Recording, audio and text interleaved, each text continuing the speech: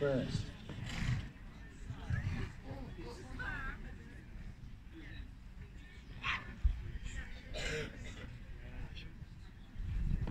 Top place in Gulmanor recently.